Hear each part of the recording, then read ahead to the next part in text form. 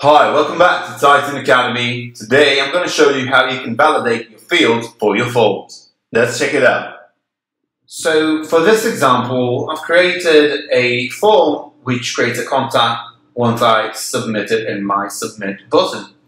Now, notice how each field here is mandatory, except the last field is not an actual field within Salesforce, but I still want to include that in my project which means that if I choose to fill out my first name, last name, and email, and I choose to exclude that, I can still submit my form, which means my contact will get created regardless of this last field.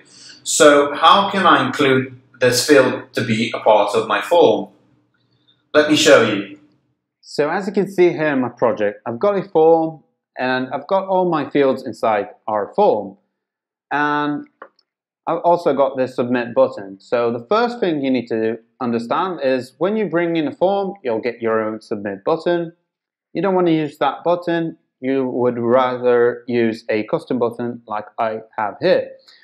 So that's the first thing you need to do. Second thing you need to do is set a parameter. So I'm going to set a parameter in my page so click on the page settings and configure actions. And here you can see in parameters, you can see static. And here's my parameter, form validation. So click apply.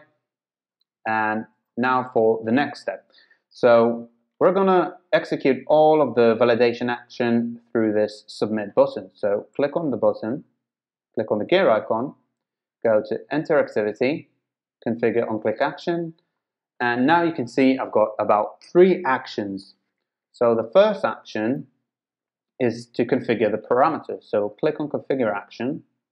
And here in system actions, we need to enable interactivity. So enable that and click the gear icon next to it. And now we need to choose form. So click on form and enable, of course. And now you need to choose your element. So I only got one element. It's called my form. So choose that one. And you also need to select validate fields. Now, what you do is, is in your form, you've got all your fields, and if something uh, is not validated, it will send a value to the parameter. As you can see here, here's my parameter, my page parameter, form validation. So this is very important because this is the actual validation.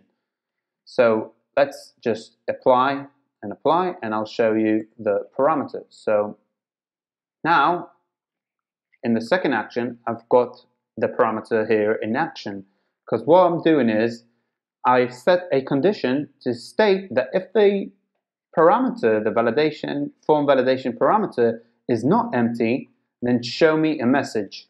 So this message, oops. So this message is an error message since my parameter got uh, populated with the value of the field. So this is my error message. So that's that. And now for the success message, I've set also a condition that if my parameter form validation is empty, then you can either push to Salesforce. In my case, I've just sent a message here. So your contact has been added successfully. So hypothetically, my contact has been pushed into Salesforce. So click apply and apply and now save. And let's preview this for a minute and see how it works. So let's try and let's try and create an error message. So let's just fill in the form real quick and we don't want to select this uh, field in order to trigger the error. Now before we do that, I want to show you the debug mode. And here you can see my form validation parameter is empty.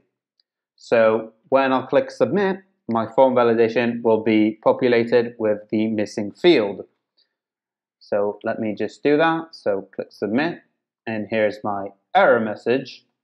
Check the debug and as you can see, it's populated with the missing field. So what happens if I select this as well? Click submit, success message. And that's how it's done.